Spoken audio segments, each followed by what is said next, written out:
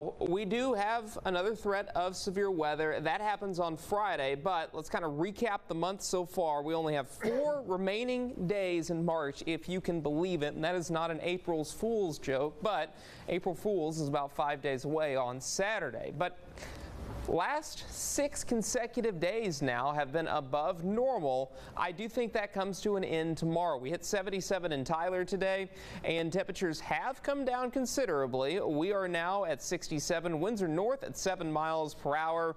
Lufkin, at the last check and at this check, still at 70. We do have higher humidity there, but the winds have now shifted from the south to the north, which will bring in those cooler temperatures. So these temperatures you see right now, that's about what we're going to see through tomorrow afternoon. Here's satellite and radar. We do have a disturbance down to our south with that frontal boundary, and that triggered a few showers and thunderstorms earlier today between San Angelo and Abilene that have pushed just to the south of the Dallas area. Now, what happened with these storms was during the heat of the day, they were moving off to the east, but once the sun set, the temperatures started to drop, the instability decreased, and they've really weakened now. Let's go ahead and zoom in to some of our northwestern counties. A couple of showers here and there from rains up into Wood County, but not too much and certainly not severe or anything like that.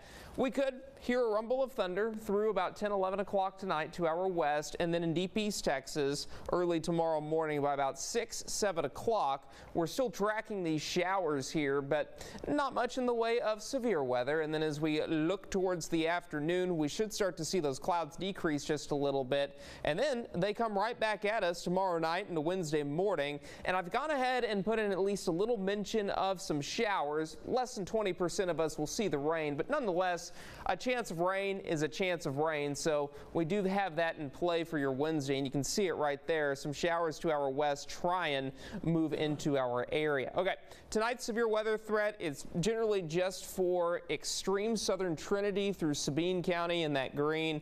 Could see some gusty winds and some pocket change hail. That's about it. 56 is your low temperature tonight. 20 to 30 percent of us may see the rain, and then as we head into tomorrow, we continue to see a few clouds, mostly cloudy to start, and then those temperatures will be in the 60s with those clouds slowly decreasing through the area.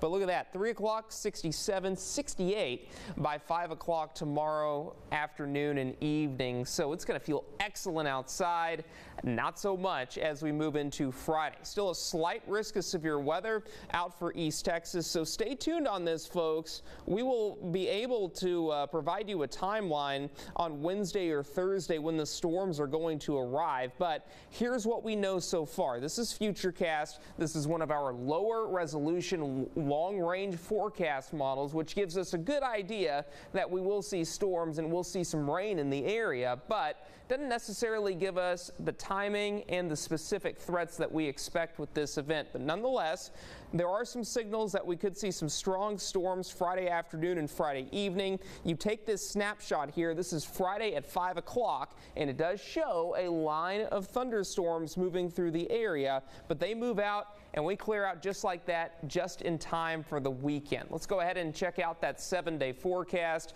And as you can see on your screen right here, we will see those highs in the upper 60s tomorrow, but we climb the temperature stair step back into the lower 70s for Wednesday. Again, went ahead and included a chance at a shower Wednesday and then again on Thursday night, but I think our main storm threat will be on Friday. A few showers around Saturday and Sunday, and then back up to 84 next Monday. Deep East Texas, 70s Tuesday, Wednesday, and Thursday, 83 Friday. We are tracking the same storms as what we're going to see in East Texas, so decent rain chances on Friday, followed by maybe a shower or two Saturday or Sunday, but we won't have to cancel any plans. Anything that falls this weekend will be light. Neil? Okay, the possibility